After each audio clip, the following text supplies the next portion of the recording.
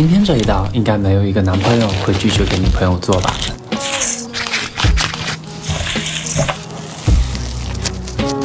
把芝士折一下包进去，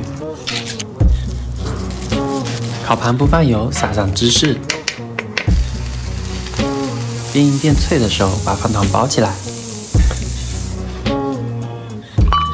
牛奶里面加点小苏打，防止放入醪糟的时候结块。